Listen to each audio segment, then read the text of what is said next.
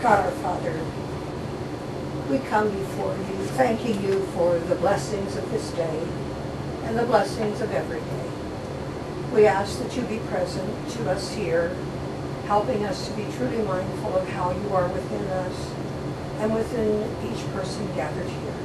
In this season of gifts, we call upon you to give us the wisdom that we need to come to true understanding of all that's brought before us.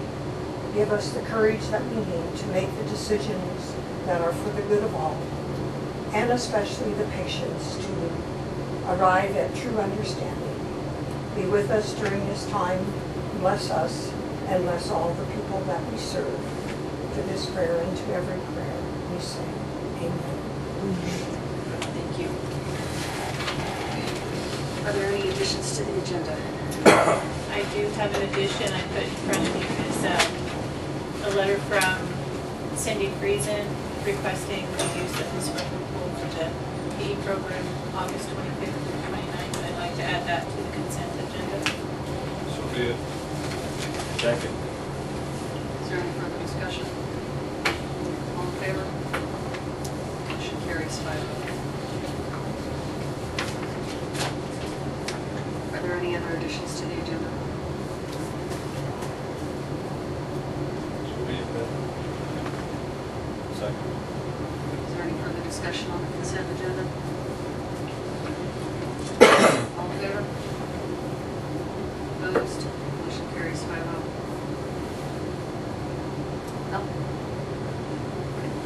Uh, I have asked uh, Kyle Unruh with HD Waterworks to come and uh, share some information on automated meter reading. And, uh, So he's got some handouts here and I guess you can probably stand black and.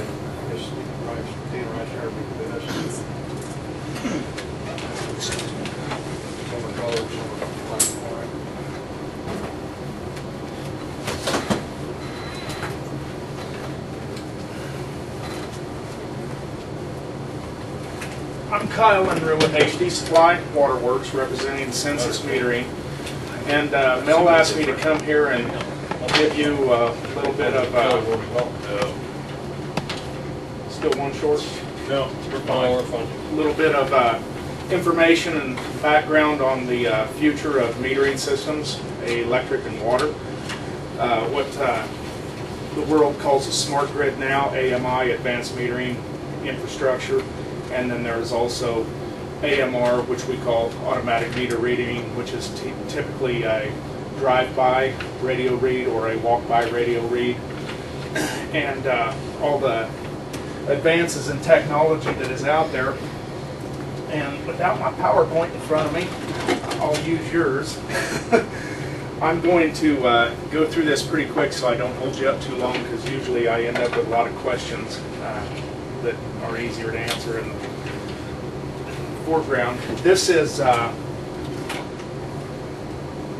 the iPERL meter, which uh, to give you an idea, that is the hottest thing going right now.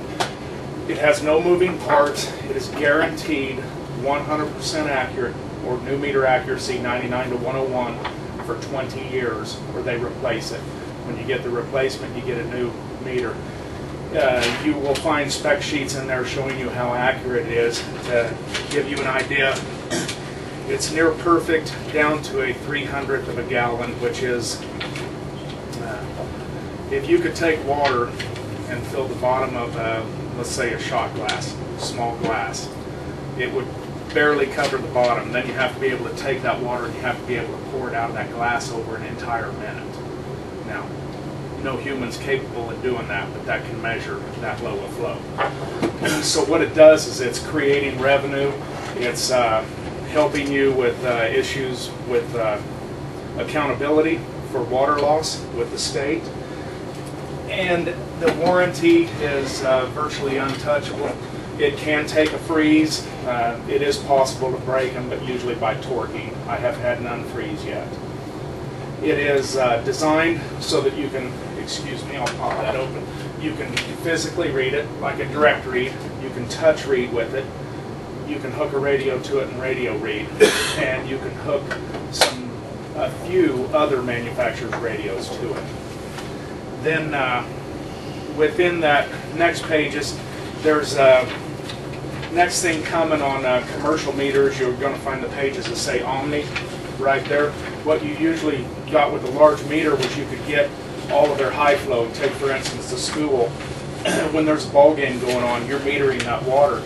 Uh, This particular meter is going to now get the janitor at the drinking fountain in the evening.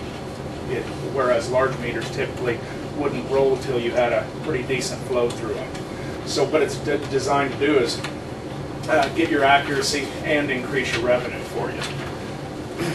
With the way that, uh, if you were to automate your system right now, you would be getting, and you wanted to keep your meters in place that are, say, five years or newer, to use the life out of them, you've been using Sensus meters, so what you would do is you'd take the direct read me- uh, register off of that meter that's on there, and you would get this, we call it a retrofit, and this piece here, the top AMR register would hook to it and turn it to touch read, radio read, etc. And so you can use the life of what you currently have in there. Um, And this is already an obsolete register from what you'd get. The newest ones are actually electronic with a 20-year warranty on the register too. So the radio that goes with that is everything with Sensus is plug and play.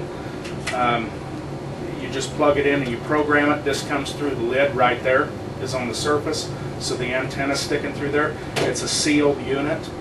Uh, so it could be flooded in water, this can be flooded in water, this can be flooded, they can be muddy, everything else, unless somebody damages this, uh, it's a 20-year guarantee also on the radio. Now, this is an example of our electric meter. Uh, Doesn't look like much with no electricity on it. Would look similar to some of your others that you're using right now. Sensus makes their own residential electric meters. They do outsource their polyphase or three-phase meters by the use of putting their radio in a GE, a Landis and Gyr, an Elster, and uh, I think there's another brand out there they match up with.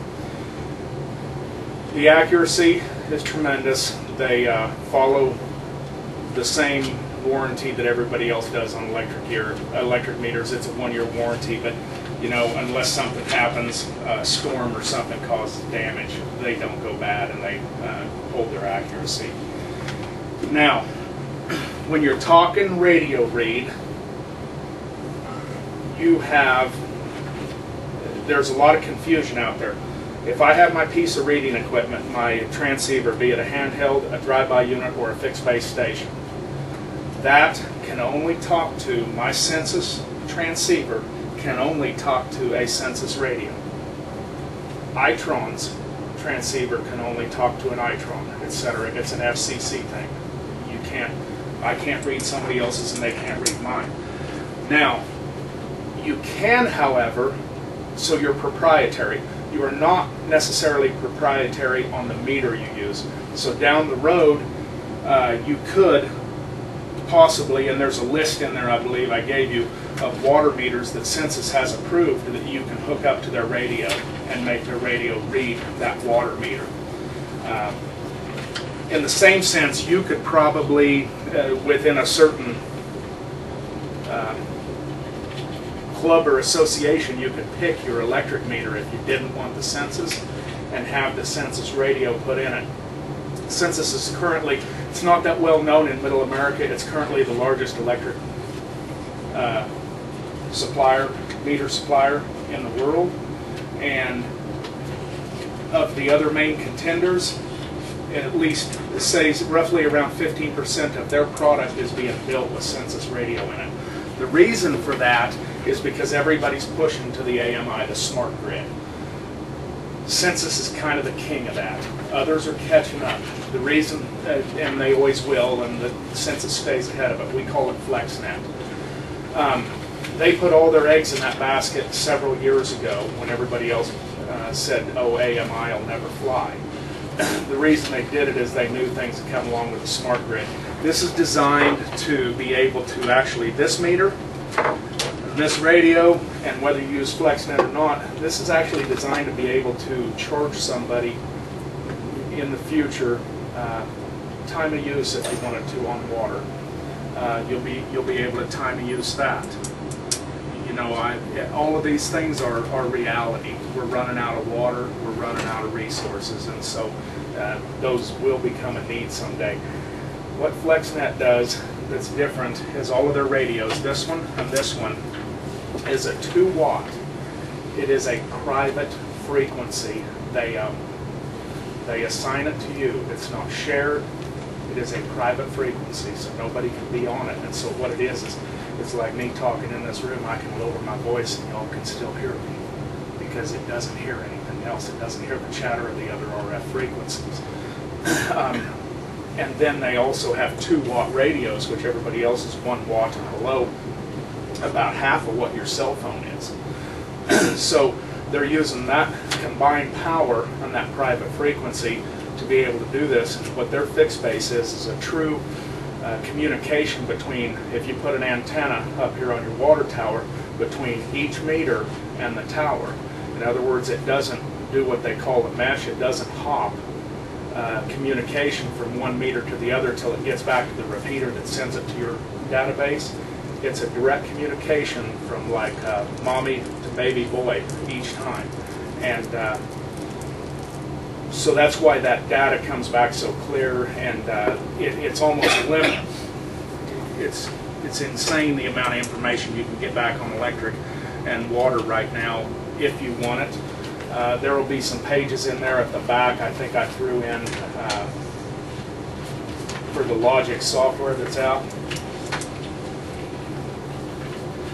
Uh, Maybe I didn't. Anyway, the, the software that's out there will help you create all the reports you need to on your electric and your water. The, uh, the way that FlexNet works is you have a tower we call a base station. Then you have an RNI, regional network interface, and that would be like your computer servers. And then you have your endpoints, okay? The communication from the endpoint, uh, this holds 30 days of information. Every time it talks to it, like every five hours a day, it sends seven days of backhaul. So if there happen to be a truckload of nuclear waste parked over the top of one of these and it couldn't get communication for three days, when it pulls off of that and it communicates with that radio, it has seven days of backlog. You haven't missed one bit of data off of it. then the tower holds, uh, I believe, three, 30 days, and your RNI holds 13 months. the latest thing that Sensus is really doing is, is, and that's what those back pages were, I forgot the order I put it in, is they're doing what they call software as a service. You won't buy your RNI anymore and you won't have it here because you might not have an IT person that can take care of it. They host it over the web, you have your tower, they fix it remotely. If there's updates, it's in uh, Raleigh, North Carolina, I believe. They do the updates, they get on and do the maintenance. If a server needs replaced down the road, um, which is going to happen, I have some of these that are sold that uh, everybody's still happy with, but they're wanting this new software push that's in there, and their servers won't hold it. You know, thing technology outgrows itself uh, very rapidly, and so what the hosting does is it puts that responsibility in Sensus Lab, and uh, they have a fee that comes along with it, but you don't have to take care of anything. If lightning strikes that server, they own it. It's their problem. If lightning strikes it here, you own it, and it's your problem. Haven't had any of that ever happen yet, but we do live in Kansas. It is a possibility. Then, oh, go ahead. Well, I'm just, what, what part of that interfaces with our billing software? Uh, they have yet to fail to interface with anybody's billing software. It is the billing software's respons- responsibility in the cities to a certain degree, but they communicate with them and tell them exactly what they need to make this mesh up and act together. Um, we've put that on with a billing company that has one customer, and they made it work. One customer in the whole U.S. so, so they're they're pretty flexible about what they do. Uh, give you an idea of what you can do with uh, FlexNet also fixed base. Sensus makes their own streetlights. They're LED and they're, uh,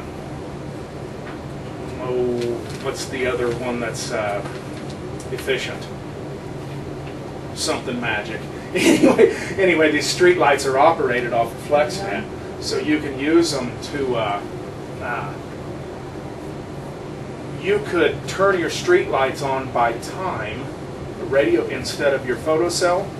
The radio tells it when to turn on, uh, which they do last longer than a photocell, they've proven. the radio does. It tells it when to turn on. It tells it when to dim. Like, let's say 2 a.m., we want to shut those streetlights to half power to save energy. Tells them when to dim.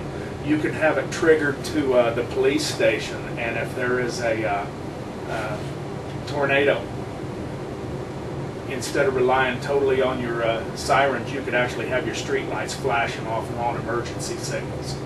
Uh, it's it's unlimited what they do. They have uh, controls to work substations. Uh, they're talking about hosting other people's software through their system. Customer Connect, you know, it's just uh, pretty wild everything you can get with fixed base and FlexNet. Now, I'm going to work backwards. That's the top end of the picture. The, at the beginning of the picture is always this, this, and this. These all have a M in their model number. The M stands for migratable. They designed this private frequency so that you could use, you can direct read it, uh, this, but it has a radio no matter if you want it or not.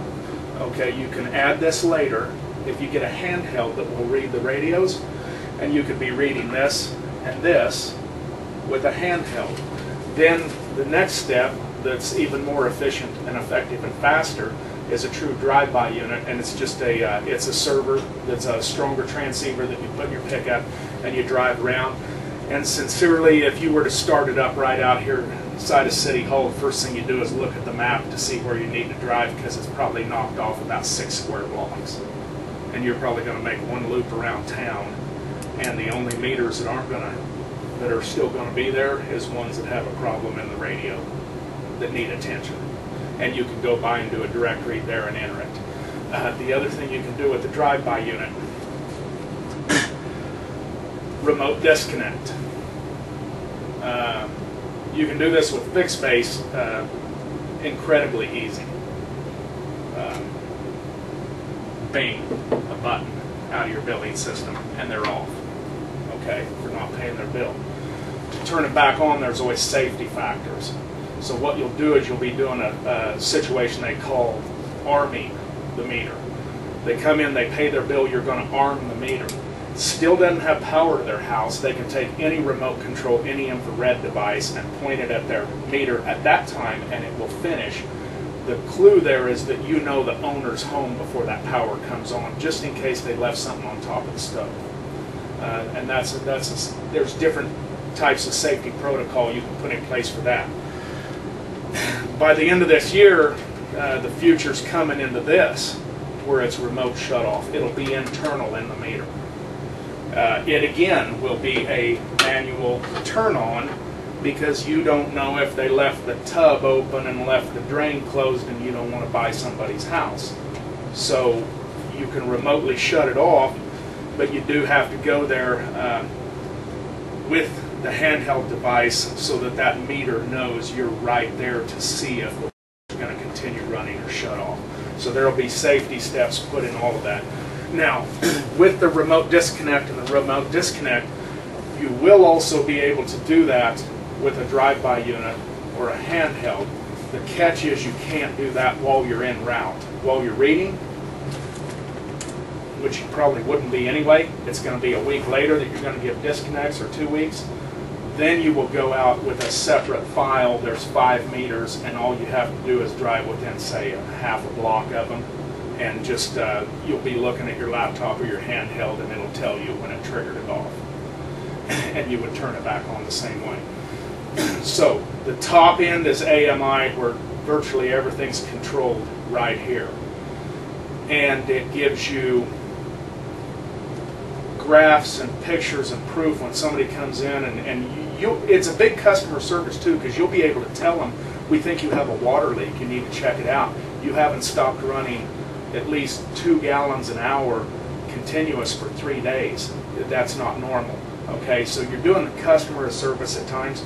Um, I've had landlords think it was the greatest thing in the world because they got a bill, or they got a, excuse me, a, uh, a leak notice from the city when they had an accountant paying their bills and didn't even think the water was onto this particular building. So it can be a service to you in a lot of ways, and it can be a service to, to the community in, in a large way. Um, the only thing that you have that, that changes is you have daily warnings, daily information with AMI. With drive-by, you could say it's monthly. Now you could choose to read twice a month because it won't take you very long, and one of those would just be uh, looking for alarm read, and the other one would be looking for alarm and sending a billing. And uh, with handheld, you could do it too, but more than likely you won't gather all that advantage.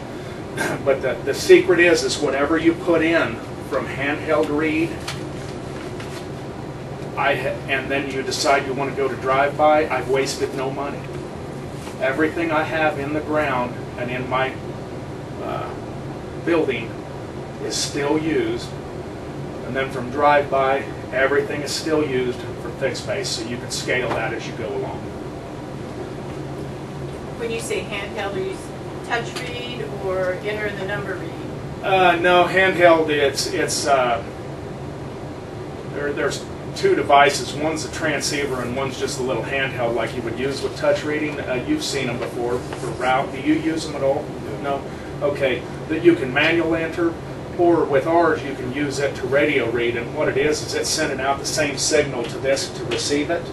And uh, it works pretty effectively, but keep in mind that transceiver isn't as powerful because it's fitting here versus the drive-by, it's just getting more power to get the signal out and get it back versus fixed base, which is a huge amount of power and control over it.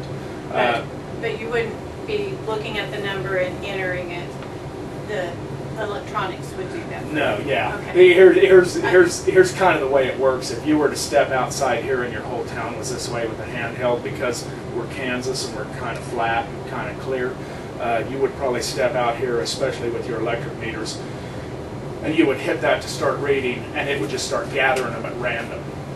And most people that are doing this are actually using it as like what I call a semi-drive-by. They're staying in their pickup, and they stop and they let it read until it quits, and then they move a couple blocks away and they do this, and then they, they just kind of zigzag around. When they're done, it'll say that you've read, uh, let's say, uh, eight, let's say you have 800 endpoints. It'll say that I've read 780 of 800 endpoints, and you can just tell it to search and tell you the addresses it didn't read. You may go back by there and it'll read them, or it may be an issue that you got to get out and manually enter it. But while they're there, they can look to see what the issue is and manually enter it, so when they bring it back to you, it's ready to drop to your billing file. And uh, that will give you uh, a certain amount of alarms. Um, the beauty about this meter and the Omni meter is uh, to show you how primitive you can start. I can take the radio clear out of this picture and uh, you could have one little component that goes with a laptop. Uh, we call it a puck. It's about this big, and you take it and you lay it right there against that, and it's on your laptop, and it'll read and communicate with the the iPERL and the Omni meter, the large meter I was telling you about. These they're actually computers. They're storing 30 days right over all the time of hourly reads. So I can take a directory, I have directory customers that have just that component, and when somebody complains about their bill, they go download it, and it'll show them, you never quit using water, or you used 10,000 gallons on this Saturday. It's just information to arm you with, and a lot of times it really helps them to realize, hey, I, I do have a, a leaky toilet, I do have something going on, and, uh, you know, brings their attention to it. Uh, one of the first places we got a call when we put one of these in that I, I went out as a service to them and downloaded the information for them was a church. And I said, man, you're, you're using five gallons every hour. Except on Sunday, you use more. and they go, well, we know we have leaks. Well, okay, well, you didn't fix it. Well, until you put that meter in though, nobody, ever the bill was always the same. Because the meter wasn't catching them, okay? Well, then that meter went in and that showed them, uh, their water loss went like this. And of course, the, this church uh, called a plumber really quick to fix everything because they had that many small leaks and the old meter wasn't catching it and the new one was. But the greatest thing was is you were armed with that information. They are going to be putting this in for direct read customers, a, a firmware soon that will allow them to, instead of going hourly, uh, they have to stretch it out to two-hour reads, which will still give you quite a bit of that information, but they'll be able to do it over 90 days, so you can download 90 days of information out of this. So all, all of that technology is there, and I'm not too sure with a handheld. You couldn't do it with that puck, but with a handheld, I think you can draw some of the information out of this. The difference between electric and water is they're going to program this to store information you ask them to. Okay, and it could be changed later. But the amount of information that he could ask for that, that's capable of storing is unspeakable. And uh, it, it takes, like when you're using a radio frequency, it takes a wide bandwidth to draw all that information out of an electric. But, uh, Any, any questions? I know I probably talked too long already. I was trying to speed along. There's a sheet in here and tells us any costs or anything like that. Actually, what I was gonna say, how many water meters do we currently have out there? Oh, I got a list. Jeff, Jeff, It'd be, it'd be last year's, it was just averaged off of last year's.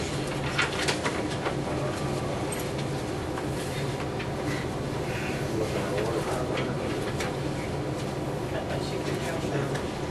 Didn't you get that? I, I used, uh, in, in 2010, I used a figure of 600 and 600.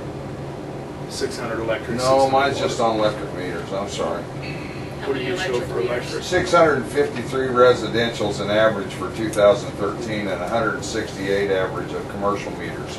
But now, not all those commercial meters will be three-phase or polyphase Right. meters. Some of them will be. Will just be will 2S. They'll just Yeah. be, you know, like, like Kevin's shop is just a single-phase meter, he has no three-phase, and some of these don't. So that's just one of those we'll have to count out of the meter book in order to tell. I had the, the sheet mail too, I just didn't write it down. I, I'll give you a, a, I'm gonna give you a ballpark, okay? This isn't a bid. I, uh, I crunched some numbers in, uh, 2010, it looks like June of 2010 for Mel, and he just rattled off, I believe, because I mixed some of this in, I put in some, uh, polyphase meters, some 2S meters, and, uh, 20 remote disconnect meters that you could shut off. And I put in 700 electric meters, and I put in 600 water meters and radios, assuming all but 10 of the 600 were residential meters, which they won't be, but it'll give you a close figure. I, uh, within this ballpark that I gave him was an owned system where you would have had your RNI here. uh, And what does that mean, R and I? uh, regional in- servers. Okay. We'll, we'll call them servers. That's what I, just like they call these things MXUs, I call them radios. okay. Uh, the entire thing and the programming pack, everything you needed, installed by a contractor from us, managed by us, uh, was was a, a grand total rough figure because these numbers aren't right of about 455, 455,000. That was everything new. Okay, and and FlexNet. I took a quote off of a similar town I just did recently to give you an idea that has real close 570 water, so a little bit more, uh, roughly about the same. Uh, six, about 730 electric of different forms. And that figure, Was that their in-house servers too, or was that? no, that was hosted. Uh, And that figure was uh, about 430. So you see, that's what happens with technology. It's already come down. Now, the catch to that was that's hosted. So they're not buying part of that equipment. Okay, the other thing was is I had a year of hosting fee in there, so it's kind of about a balance. If you look at your back pages when you have time to study them, what the hosting does is, is I'll, I'll give you an idea, because I wrote this down before I came. This is uh, something that took my breath away the first time it was offered, until I had somebody that wanted it. The twenty-two thousand dollars annually. Okay? That's That, for that hosting? equi- that's for hosting. You don't buy as much up front, but, but, and any upgrades they take care of. And that's why I put those pages in showing you the hosting, what all it includes, because it actually does come with quite a bit of insurance. Um, That comes to eighteen thirty a month for you, and using a guest figure, which uh, looks like I'm really close on electric meters and water meters, that comes to about a dollar fifty a meter to read. Um, a lot of times AMI is added in to the uh, service charge if you wanted to do that or, or not. Uh, That would be uh, totally uh, election or decision by you, but that gives you the breakdown of what it costs per meter to read. Now, all of these things are always uh, coming down to give you an idea of where the drive-by would hit on Okay, so that's with the tower, that's the top that's of the the magic. Okay. That's the magic system. If you did all of the same endpoints, endpoints I'm calling meters, every, all of that equipment the same except without the tower and a drive-by unit, you would be at about four, that number can't be right. There it is, uh, about 350, 354. And does that have an annual fee? That has an annual fee that's down around three thousand. So, it's quite a bit of different, it's a different in the information you get, but like I said, you could use your drive-by. Um, You, you could go out with it a couple, three times. Because you're not hurting the radios. Keep in mind, the warranty on these radios uh, with Sensus is uh, designed, they love people that are doing walk-by and drive-by because that meter isn't get, that radio isn't getting hit very much, and they got a 20-year guarantee on it. It's designed with that guarantee around fixed base, getting hit five times a day, every day, 365 days a year for 20 years. So that gives you an idea how uh, substantial their equipment is.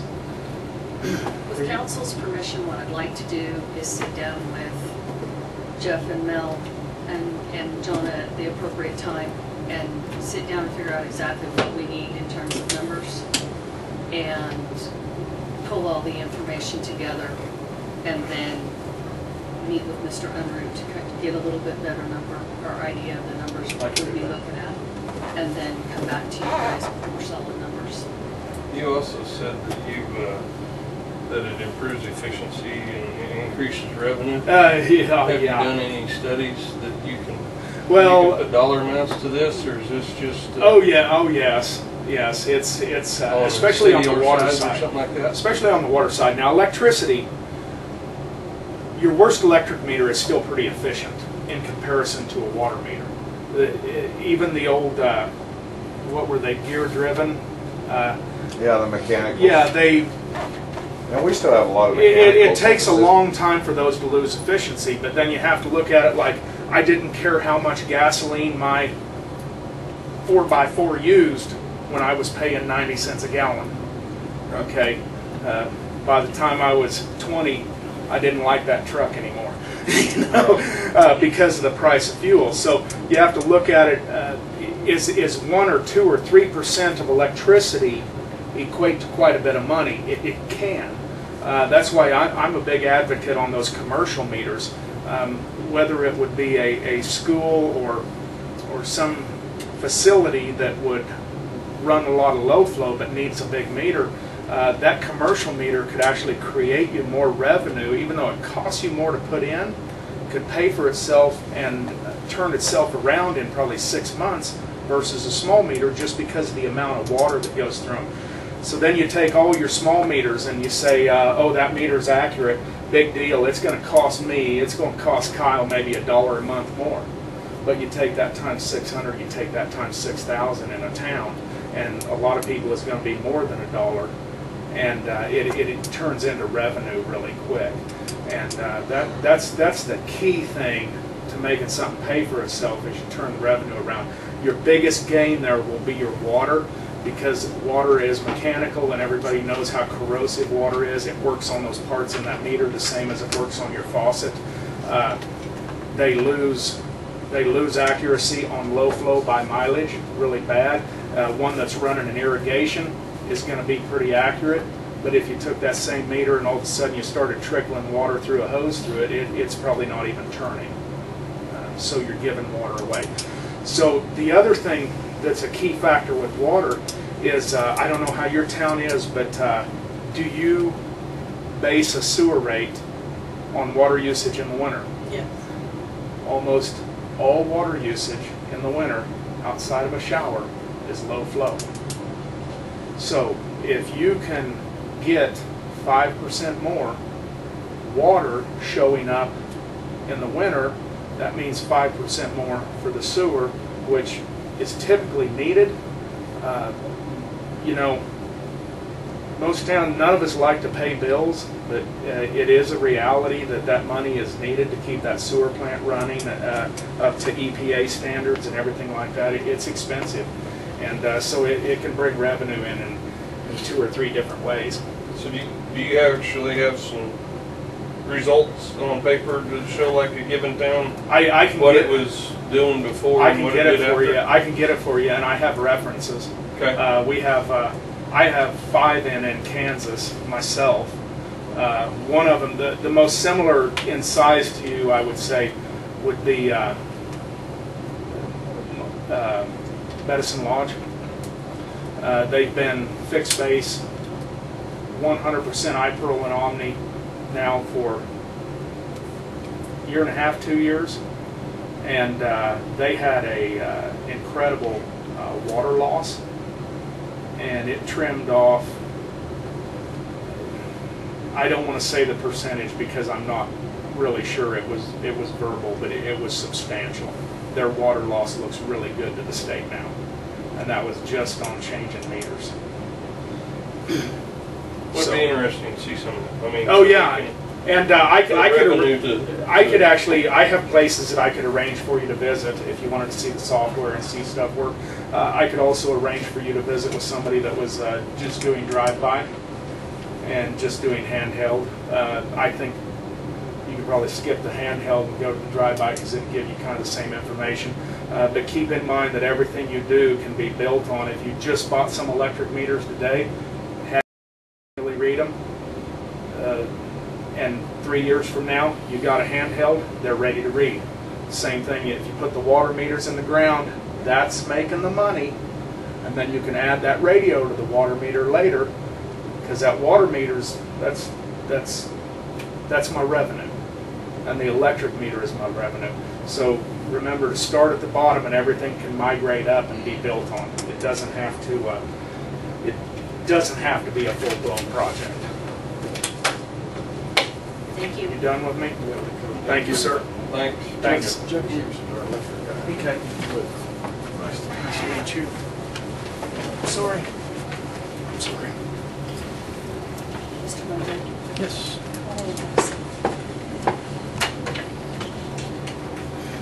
Okay, can I change the order around?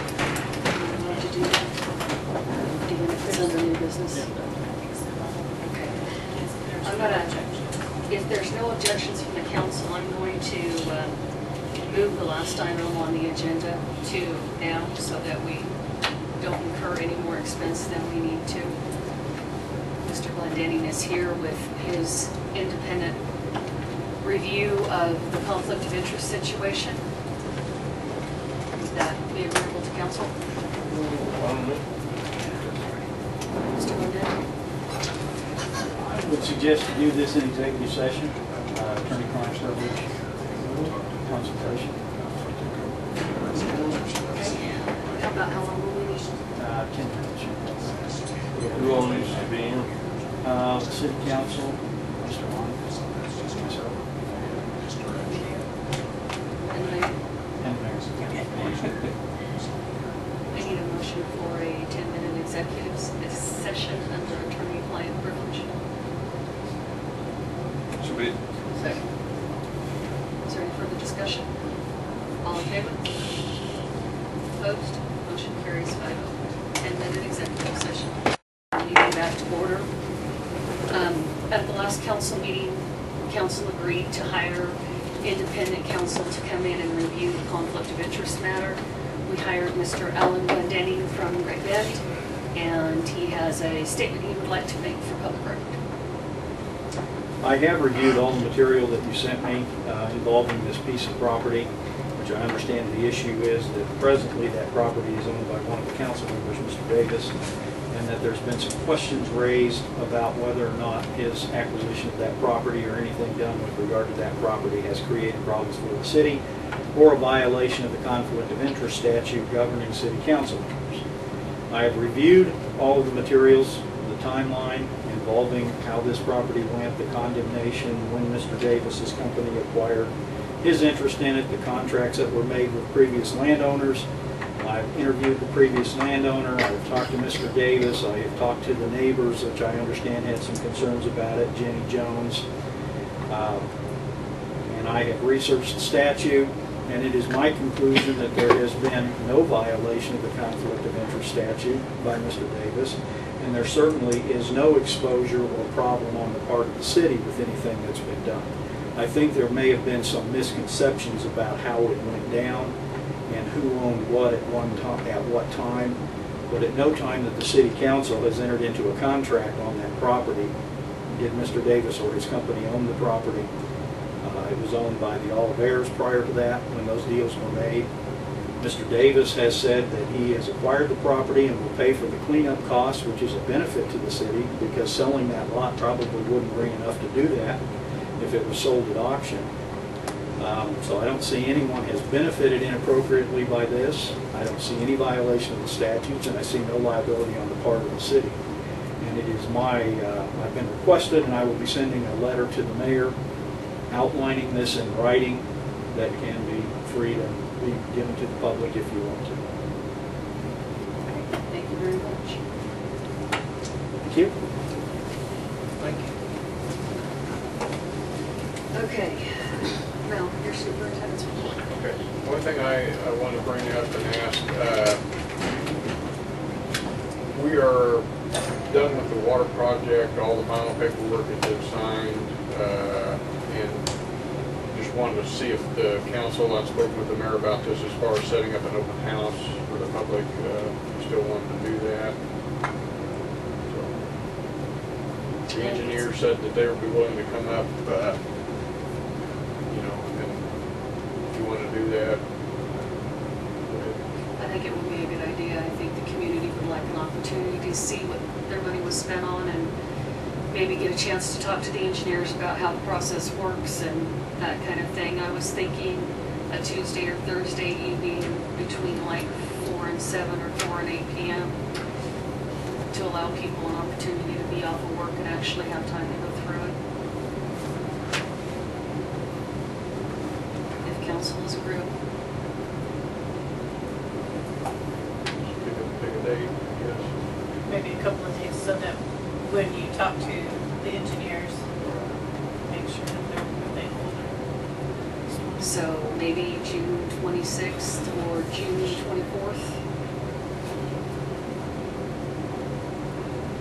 July 1st, we need to go into the permit. Is that okay with everybody's one? All right, check 24, 26.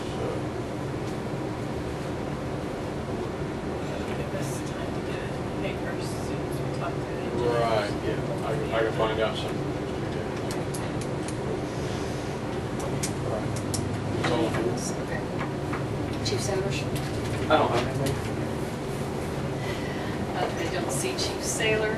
Jonathan? Um, also I had was the lease agreement, um, that I sent in the packets for the catalytic converters. We had a hundred thousand, a hundred plus a little bit, um, encumbered, and the total bill.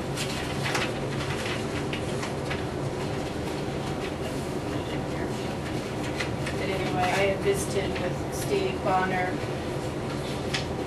the last two years while we were waiting on this project to actually um, take place, and um, he sent us this information, and it's just a matter of you guys approving the lease, and then I'll go ahead and do the rest of the paperwork, and the mayor can sign it. Are there any prepayment penalties if we choose to try and pay it off earlier? Are there any questions or is there any discussion from council? What was the total on Shows hundred and fourteen thousand three hundred is our principal balance starting. So we had a hundred thousand that we About paid. 110. It was, yeah, hundred and ten something, it was an odd number. So. So the total bill was roughly two hundred twenty-five thousand. Right.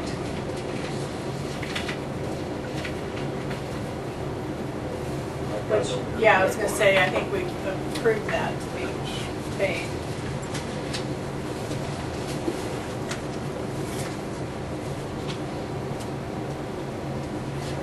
That was Fairby's when we contracted them to go ahead and do the work. Two hundred and twenty-four thousand, seven hundred and thirty-five dollars. And that was what the total bill was. That was, yeah, well, that was the contract. Did it come in at contract As amount? far as I know, Jeff Dad didn't have. I haven't make heard any different. That didn't make any Okay. changes, so. Yeah, it came in at contracted amount. So we put a hundred and,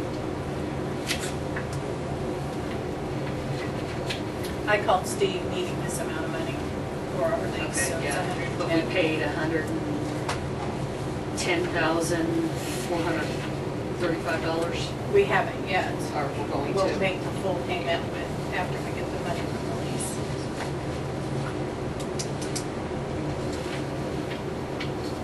So are you looking for a motion to I am approve the too. lease agreement? And then, of course, take So it to moved. Fairby's. Second. Is there any further discussion? All in favor? Opposed? Motion carries.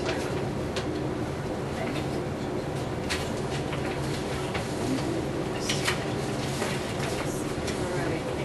Mr. Lyons, Resolution seven I sixty-six. believe they got it in their package, did they not? Yes. I would have to look at it, and see if that's what they want. That brings it up to hundred dollars per animal per incident, eliminates the uh, uh, licensing fee and leaves the other the same. And I think that will get us basically where we can, in our discretionary with the police and the judge. to, uh, I'm just not saying what you're gonna get everybody with, but that keeps it pretty simple and hopefully it gets where you wanna be. At least it gives me an ability to, to, cre- if somebody's really a a habitual offender, to put some pressure on them. to stop. So what would the fine be for somebody that was a first-time offender and they walked into the Prob- Probably just a warning from the police. And we, that's discretionary. Uh, I- It could be this, Okay, depending on what the situation is. But it's, but this would be the most it could be. The way it is right now, the most it could be is ten bucks. Right. Well, That's just a nuisance. so And, and in light. whatever the police decide to do on their on a ticket is what discretionary we would basis, be able to offender, work with here. or uh, comes in before the judge and I, we can look at the situation and do what we think is equity in the community. But if, but if it's a situation where they basically tell you, I don't care, and I'm gonna do what I wanna do with my dog, and it's gonna be, well, you know, it's okay, probably gonna be the max. If they're saying, well, it got away from us, we're sorry, and court costs, you're probably off, you see. Uh, The only thing I was, on this kennel uh, license, and we do have some zoning requirements where you would have to abide by those as far as where a kennel would be allowed, and I don't know if the state, they may be, uh, you know, the- for them to, to give a kennel license would would have to have some assurance that it was within the city's zoning regulations, because you can't have uh, a kennel just anywhere. So that, I don't know how you want to address that. Well, I think that does. Any Kennel kennel shall abide by the license requirements of the state of But I'm Kansas. saying, I don't, I, I'm just guessing, and I don't know, Rod, you can correct me, if whether the And perhaps we could add, and the city zoning. Yeah, we could add that. Yeah, And any city, they've got to comply with any city zoning. That, that takes care of it, Regulations. right? That'd take care of it.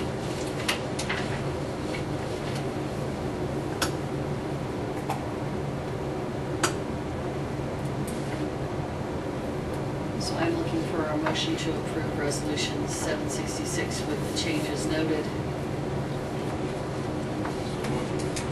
Second. Is there any further discussion? All in favor? All opposed? Motion carries five. Jeff? Well, being said we're not gonna do the metering deal any farther than what Kyle did when he was here, we'll skip that part of it. Uh, We did test the stacks last week as per KDHE. Uh, The lady that does the monitoring from Farabee's was here, we generated for a day and a half. Uh, Stack emissions reduction of ninety percent on the Cooper, ninety-three percent on the Fairbanks, ninety-eight percent on the Caterpillar. So the catalytic converters are doing their job. We'll have a good report to send to the state at the end of the month. Uh, Takes about 30 days to get the paperwork back from them on the book that she'll put together that we show to the KDHE inspector when they come by. We have to file twice a year and, and let them know what we've generated, how much we've generated, and that type of stuff. So uh, the bookwork into that is done. Uh, The only other thing I have is that the Caterpillar, and, and I guess in the time that I was gone from here, why, the contracts changed, which I knew they had with Midwest Energy, and we no longer can peak shave. Which means in the summertime, we had a base load that we were guaranteed, and then we could, we could shave off the top of it and, and cheapen up our, our demand in the summer. Consequently, when that Caterpillar engine was put in in the nineties, that's what it was designed to do. And it was designed to work strictly off the computer. We had no control over it. It started itself, it put itself on, it took itself off. Well, now, running it as a base load engine or as a load sharing engine, we cannot do. It's designed strictly to work through the computer and the computer only. And so I've been in contact with Mid-States, who did the original part of it, and they're recommending some updates. The, the engine, the controls on the engine are all electronic compared to mechanical on the others. And this engine will not load share without being uh, removed from the way that it's tied down on that computer now. So they want to put some inputs in, redo the software in the computer, and make it so that it would run with any of the other engines. And the cost of the cards to to take the inputs are about fifteen hundred dollars, and then the labor to uh, do the adjustments and that stuff. And I talked to Mike Smotter from Mid States today. He said he thought that two days worth of labor. They usually charge eighty-five dollars an hour plus travel expenses. Uh, he didn't think over over a maximum of two days they could have it straightened out. If it's any different than that, why I'll come back and let you know. But that's they want to do a little bit more investigating because we can't control the load on this engine at this time because it's trying it's trying to see trying to see what the computer's telling it to do, but it can't see what the panel board's doing. So it's kind of one of these tug of war deals that somebody has to stay there and, and hold the load on it all the time, which we did the other day so that we could pass our stack. But uh, it needs to be set up like the other engines so it can be run with either one of the other engines or black started by itself. So, Did he give you any idea of what we were looking at in terms of travel costs? oh, they just, they're in Salina. I mean, if he stays So all be night, we, yeah, we'd have an overnight deal. You know, he usually stays out here, so, and meals and that stuff. I would say, you know, unless it's different than, than Mike and I think it is, it's gonna figure about, uh, probably a maximum of a thousand dollars a day, I would think. Ten hours to twelve hour day. They usually work twelve hour days. You know, it may go faster, may go slower, who knows? The software's been in there for over 20 years. It controls it, so I'm sure there's some updates to go with it too. And the computer that runs it's 20 years old. And I've talked to Randy about maybe the, the chance of replacing it so that we don't lose, it controls everything else on the panel board. But he told me that we could put a regular tower in there and he'd provide us one for about five to six hundred dollars, so we wouldn't be out very much there either. So it's a, it's a fairly reasonable fix to a problem that's been ongoing.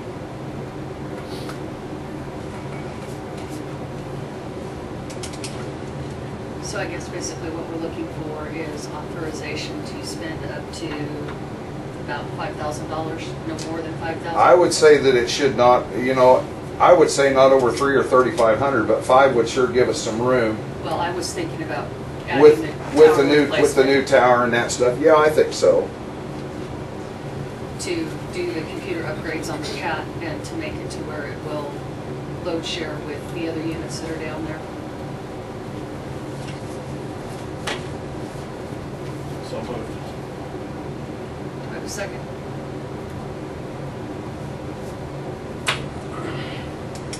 Second. Is there any further discussion? All in Is favor? that, Jeff, if they do that, is that gonna be, it won't no longer be able to come off, run off the computer and start electronic? It'll have to be put on there. It can't go by itself, which we can't do now anyway. Midwest Energy won't let us do it. And we can't, we can't even set the amount of load without putting somebody in front of that panel board to hold it. It, it doesn't see everything else that's going on, and so consequently, with having an electronic governor, and the other two being mechanical, it fights all the time to take the full amount of load. It doesn't have droop in it like the other engines do, where you can control the amount of load it will take. So that's where the that's where the problem lies. Is that it's it's completely reactive. It has a different kind of control on it than a regular governor.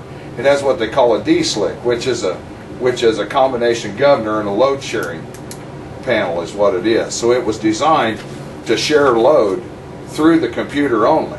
Otherwise, the only way you could use it was to put it on by itself in a dark plant and use it to bring your plant up. Because this time of year, if we can't share it with something else, it's really no more than just a generator to get the lights turned on in the plant until we can start another engine. That's all it is. This way, if we get it fixed, it should run and share with the other two that we have. Uh, Thank you. Are there any other questions or any other discussion? All in favor? Opposed? Motion carries five oh. Thank you. That's all I have. New business. Carolyn, Safe Routes to School Program. I did put something on the table because that they brought in earlier, so.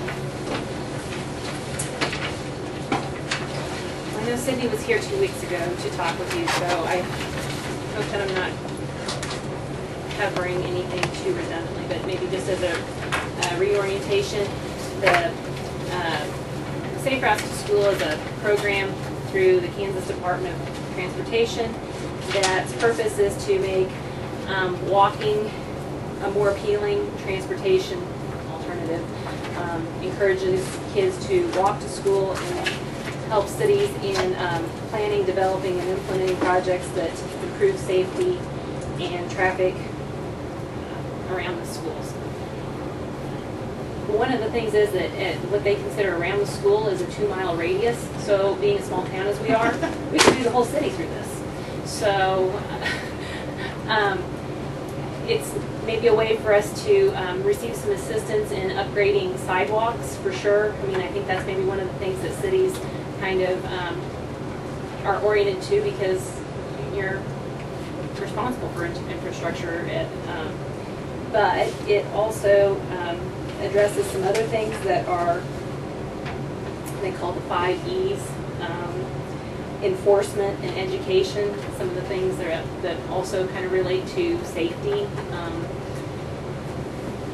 The application process um, is, for, there's two phases of it. So um, we can apply this for what they call phase one, and it provides for a year of planning on what you're gonna do. And then second phase is implementation, and that's the bigger amount of money where you can get money for constructing actual infrastructure. Um, I know that Sydney was here last time with someone from EBH. EBH. EBH, um, who's done some work with the city before and has, through their firm, done some other Safe Routes to School projects around the state. Um, I think we presented it to you that the first phase wouldn't have any expense to the city, and there was, I think, some miscommunication on our behalf about what kind of fees they would charge at what time. So I asked them to be very clear about a timeline, what fees, and what product comes from it. So that's what you have there. Um, What we, um, I think, I think what we kind of had some miscommunication on is the term plan, because there's a lot of things that you can plan here. You can lay out a plan in your grant application, the first phase, and, and, and that has a fee with it of four thousand eight hundred dollars if the EDH does it. Um, the first year of this project, um, is a, it- it's a grant, it's on a reimbursement basis, so I guess to be clear on what the city would, um, need to be prepared for, it would be hundred percent reimbursement, but it is reimbursement, so, you know, managing, if cash flow is an issue, know that that's the, the, the system. Um, if you get through that first year of the, the planning process, and it includes, um, some of the physical sides of things, but also this element of education, um, engineering addresses the physical infrastructure, education, enforcement, encouragement, that's kind of, I guess, your, your marketing of your community and, and encouraging people to be active, and, um, evaluation. So all of those elements are included in that first year plan. You can use that to be your application to KDOT for that phase two of implementation. But know that it's on page two in November. As you go into that phase two of construction, they will um, ask for twenty-five thousand dollars in design fees, and that's something EBH would, would charge. That would not be reimbursed by Safe Routes to School. That leads to a two hundred thousand dollar grant from the state of Kansas. Um, and it's an 80-20 match, so for the two hundred thousand dollars that the state of Kansas would provide, the city would also be, um, be asked to, you know, would, would have to match the forty thousand, they said plan forty or fifty thousand, really. So over the course of three years, seventy-nine thousand. We just wanna be clear about what would be ahead if we did this. Okay, so to apply for the grant, we don't need to do any money. Well, they, no, that's what, that's what we were a little taken aback by. They are asking for four thousand eight hundred twenty dollars. So, here's what Sydney and I have talked about, to them, with them about, because we, we feel like we're pretty well positioned to compete for this. We're already part of the Healthy Communities Initiative. We've been having organizational work for the last year anyway. Um, we have a fair amount of experience in grant writing. Um, we just had our third birthday as economic development, so I just tallied up how much grants we've, we've pulled in, eight hundred thirty-five thousand, seven hundred and thirteen dollars worth of grants in the last three years. So feel like between the combination of having some, I don't know, comfort in writing grants and the idea that we've already done a lot of the groundwork for this type of thing, we can probably prepare that, that application ourselves. Um, and the EVH had said that they'll be cooperative with that, which leads us to the idea that then they would be doing the contract work for that phase one, of which KDOT would reimburse all of that. So what would, would lead the city to be a part of is the um, $25,000 for design. So they'd basically be laying out maps of the town and, and laying out, here's what's involved in improving the walkability of your town and what infrastructure improvements are needed and so forth for that twenty-five thousand. And I think I've also come to realize that there's a little bit difference between design and engineering, because there's also gonna be some in, within phase one, where they, you know, more precisely survey and so forth, but nonetheless, I feel like I have to ask them, what are you gonna charge for and when? Twenty-five thousand design leading into phase two, when they actually then would start construction. And that would make it a two hundred and fifty, two hundred and forty to two hundred and fifty thousand dollar city improvement project, of which the city would be responsible for forty to fifty thousand. Twenty percent of whatever it ended up being. Right. Plus the twenty-five thousand, plus forty-eight twenty. But we're, if we do the, the plan, if we do the application within the economic development office, you wouldn't be paying forty-eight twenty. Okay, well, my first question is, is can we just give a twenty-five thousand dollar contract to an engineer? Isn't that something that should be competitively bid?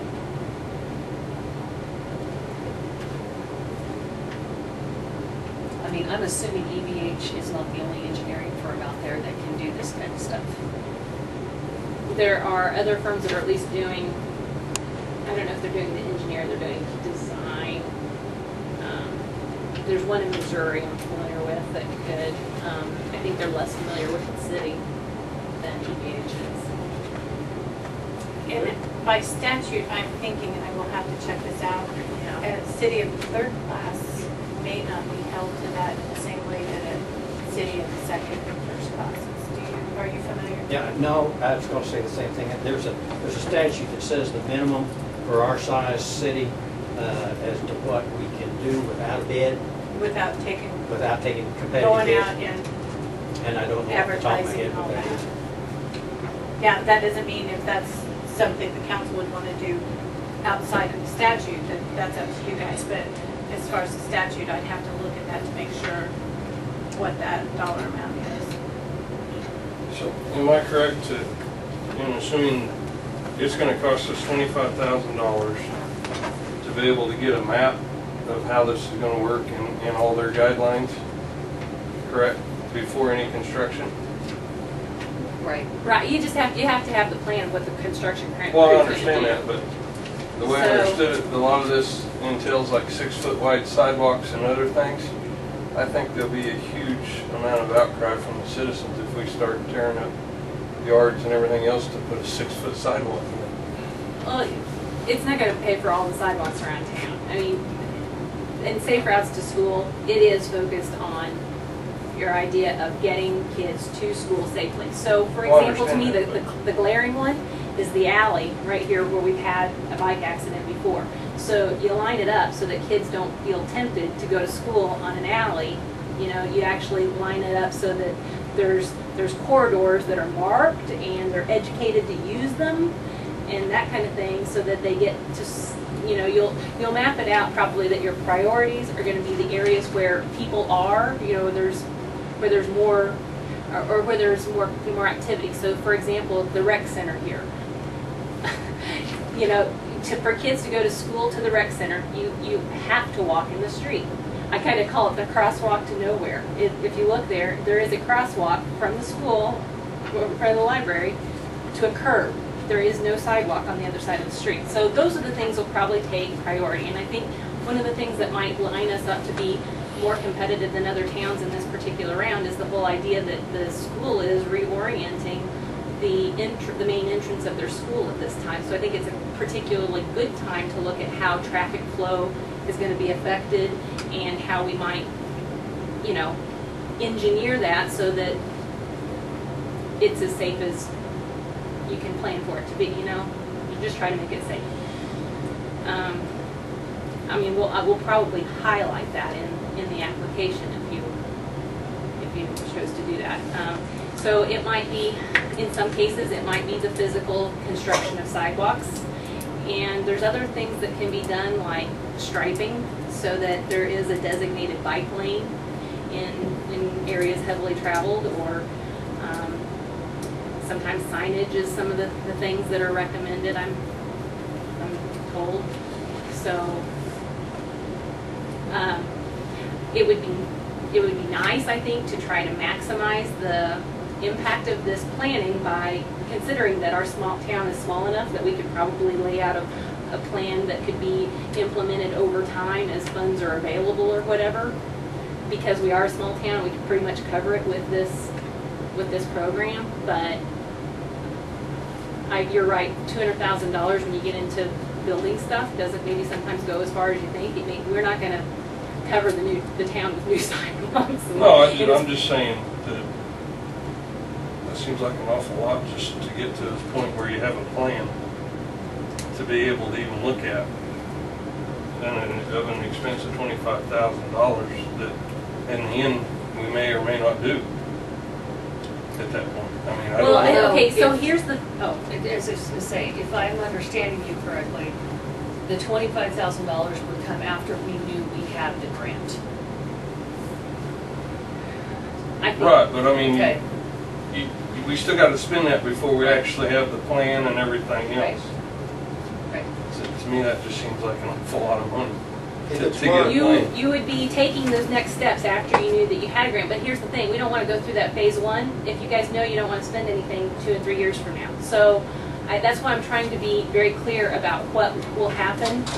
Um, if you know right now, you're not gonna budget for things in two thousand seventeen, or, you know, I mean, I know it could also be a different city council, but what, you know, I, I just think that it's useful to know what's ahead when you make the commitment to, to phase one. Right, I understand that. My understanding, Karen, or Carolyn, correct me if I'm wrong, that all of these handicap accessible areas that we've already fixed here in the last ten years will not come under this rule. It'll have to be tore out and redone. Is that correct?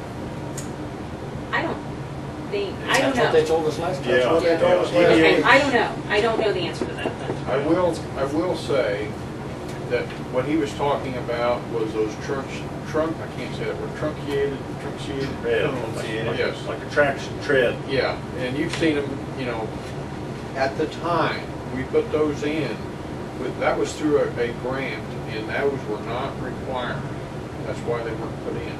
There's retro fixes for that. There are things you can come back and do to make that, they have them so they epoxy on, you drill anchor, there's, there's other things you can put in there that will do it. So that's what he was getting at. So I think what he was saying is if, if he came up to, we had a safe route and came up to an existing ramp that was already put in, that maybe the, the state would say, no, it's all gonna be brand new, it's gonna be six feet wide if that's the way it goes, so that wouldn't work. But I do know there are retro things you can put on these ramps to make that part pass. And if I understood some of what, to address the idea of six-foot sidewalks, if I've understood what he's talking about too, I mean, the six-foot sidewalks are the ones that are probably right on your school grounds, where there's a lot of kids all at one time. I don't think that that's what is necessarily recommended as you go all through town. They may be wider than what these older types, you know, two-foot sidewalks are, maybe more of a four-foot, but six-foot I know sounds excessive, but I think it's for, you know, immediately where there's kids walking and bicycles all at the same time. It's, Right. Um, The, had the, you mentioned, Mayor Owens, that the school had shown some interest in joining in on this.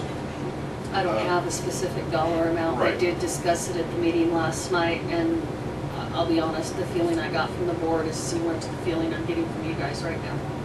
So, I mean, I heard some conversation about, you know, right around the school grounds, you know, we'd be willing to contribute for that. So, but as far as a definite commitment, there wasn't one. I mean, they are willing to cost share. It's just gonna be a question of how much. and if I'm not mistaken, a school board would be limited to cost sharing on the property that the school owns. Yeah, I don't think they could cost share the portion of sidewalk over by the rec center, for example. But they could uh, Even cost though share that's to put it USD around the football 350? field, practice field, They and- collect tax money Yeah. for it. Yeah. Well, and isn't the rec center USD three fifty? Yes. It is. Okay, yeah, uh, yeah, so,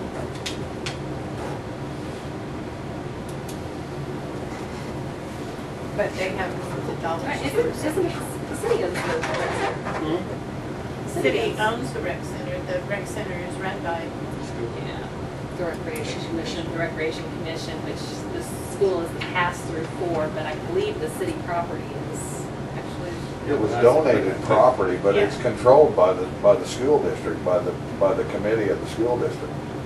Or it The always rec- was. The No, rec commission, The rec commission is. Right. The rec building. Is the controlled by the center city. Is, is, they Yes. take care of that. right.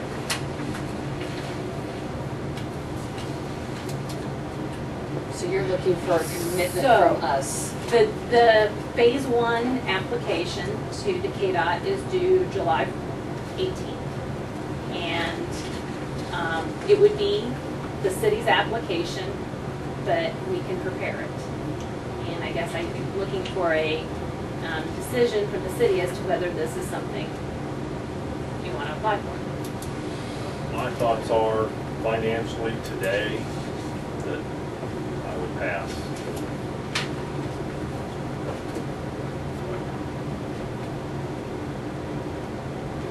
Anybody else? Well, I mean, I'm all for the safe, I mean, the, the kids' safety and all that other stuff, but kind of like Kevin, I mean, we gotta go through the first, the first deal, which you said you would basically do it, so we wouldn't be out any money. But to even get a plan to be able to, to go off of, then we're committed into this grant at that point, and it's gonna cost us twenty-five thousand, correct? You'll get fifteen thousand, Right. first fifteen thousand, hundred percent reimbursed. So if we get a plan, which is what that fifteen thousand will buy, correct? Yeah, it says available. Right. Construction plan preparation. Twenty-five Okay, so we would have to, we would have to put out fifteen thousand dollars, but that would be a hundred percent reimbursed. Yeah, so it's a cash flow issue more than it's an expense issue. Okay, so then, as part of that, we would develop the detailed budget and the plans and do the resolution of support for, from the city.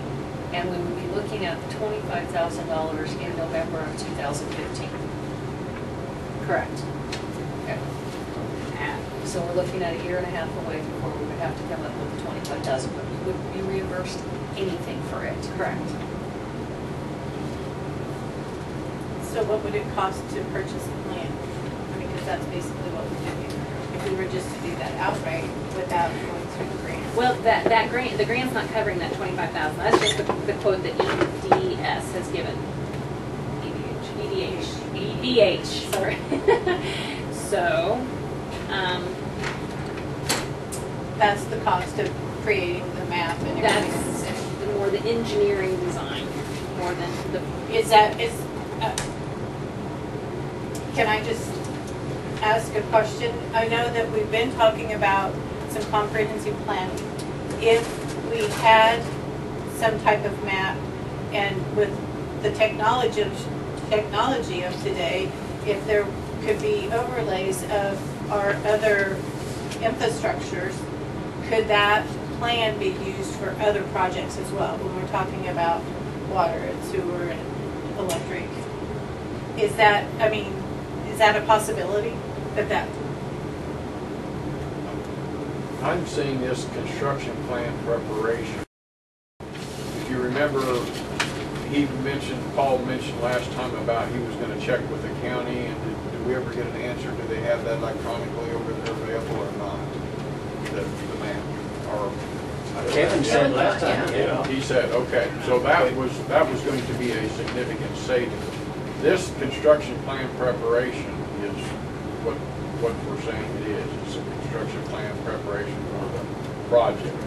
I didn't take it, that other, last time, the amount we had for that other mapping there, that was an additional cost, my recollection, anybody jump in if they remember. Yeah, I think there was an There, additional there, like he had this, he says hundred you can, bucks. yeah, you can do this later on as part of this or not as part of this, but I, I think what you're gonna be paying for is construction plan and not necessarily get into this other, I, I don't believe. Well, I- my personal opinion is, as much money as we spent in the last three years, I think we've got to put our hands in it.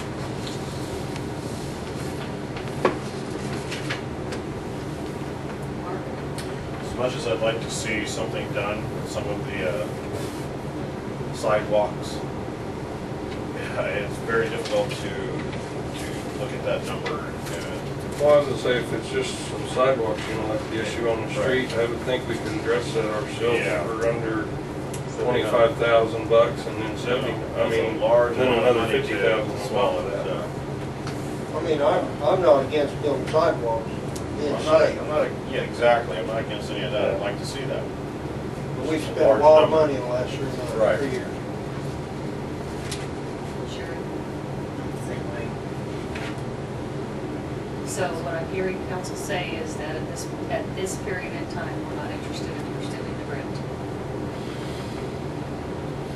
That's kind of where I'm Yeah. leaning towards. Save you guys all that time and effort Um,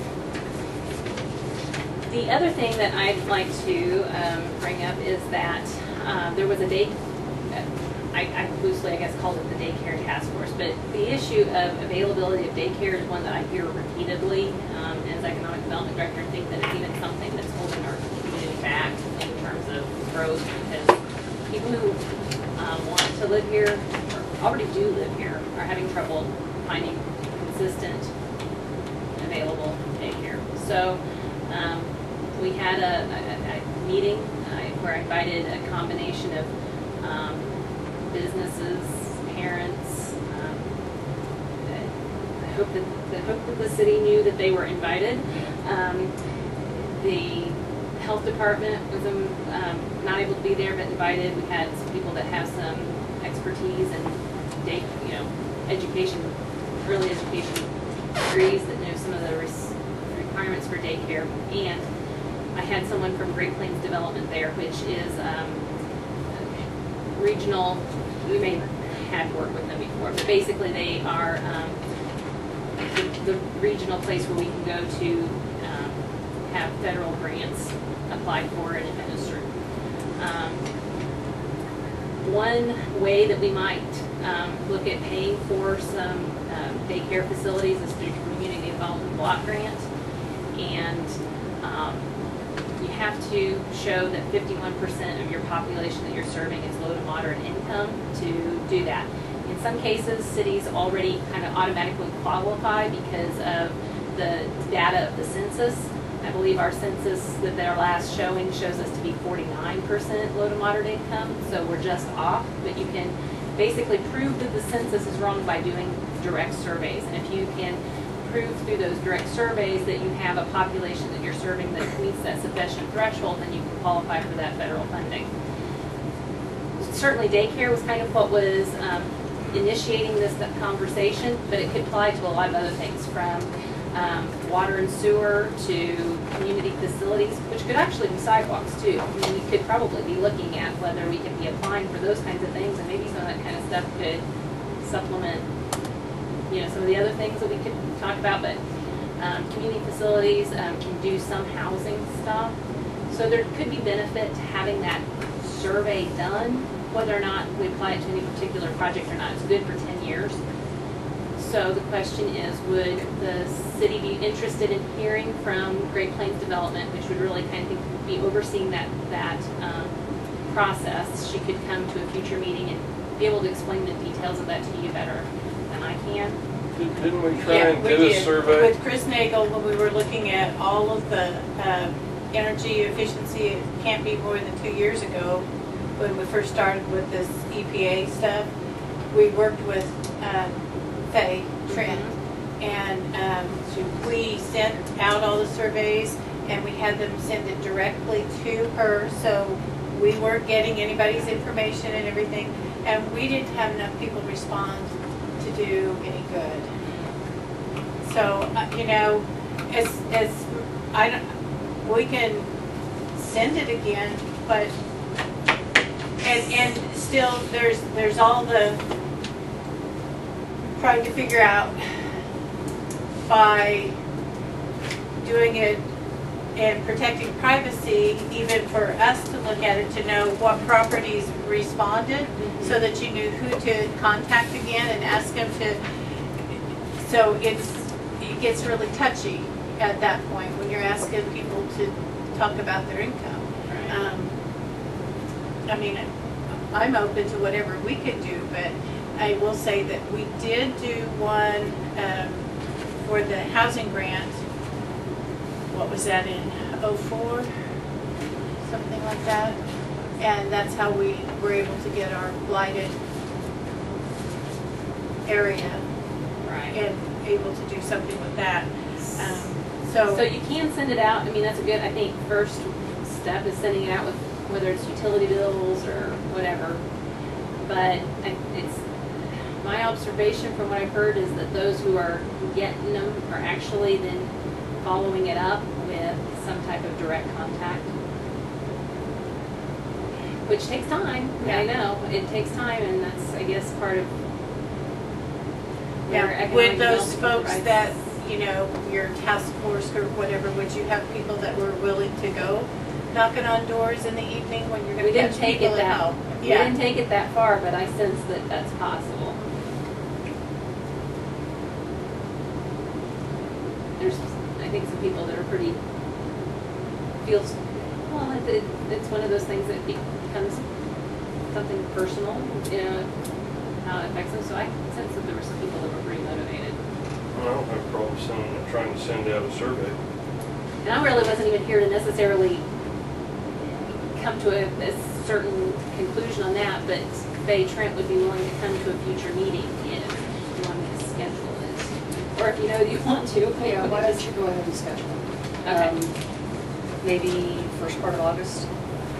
That work for everybody, or is that still, everybody's really busy? Do we, what, as far as, And we'll be finalizing the budget and and getting all of that into, I mean, the budget work will be done. It'll be just a matter of publishing and having our hearing. Um, Any information that we would gain, we're not looking at the 2015 budget for that. It would be something on out, I assume. The early, I mean, if we had sort of surveys assembled, the, there is an application period in November. I don't know that we have any particular projects, and that kind of even kind of goes into the idea of, you know, there's a. And budgets can be amended if something would come up and you, you know, you all would choose to do that. so. But annual, Let's- annual process let's is in look at November. the second meeting in August. Okay.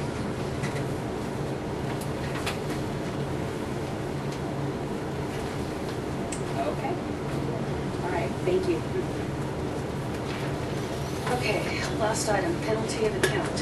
Um, and I have no idea what that is. Well, there was a large account here in town that did not get their bill paid, and there was a penalty, so it's a sizable, sizable, um, penalty, and they were to write a letter for you guys to, you know, to request you to look at that. I did not get that letter, I did not get that email, so Okay. I don't, if it comes in, we'll put it on the next one. I would look for a motion to adjourn. So, All in favor?